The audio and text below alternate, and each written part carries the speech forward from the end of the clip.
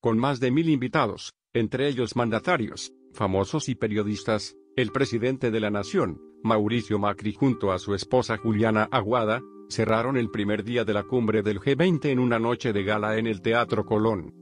Al finalizar el espectáculo, con el público y los mandatarios de pie, y varios gritando Argentina, Argentina, el presidente no pudo contener las lágrimas, y rompió en llanto poniendo una mano en su corazón, y desahogando el estrés de un histórico primer día.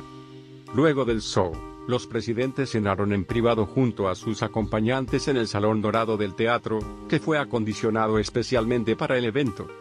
Mañana, se desarrollará la segunda jornada. Además de cerrar la cumbre, Macri tiene en agenda bilaterales con Vladimir Putin, el japonés Shinzo Abe y la directora del FMI, Christine Lagarde.